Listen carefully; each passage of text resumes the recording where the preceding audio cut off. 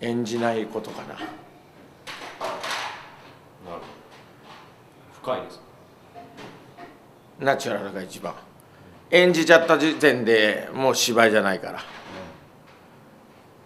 今日もそんな芝居だったんですか？で僕は用意スタート用意カットがカットが入るまで芝居続けましたよね。はい。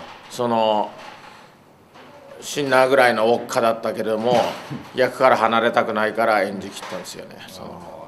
はい。ました。ありがとうございます。まあそしたらじゃあ演じてるんじゃないかっていう 話がちょっとよくわかん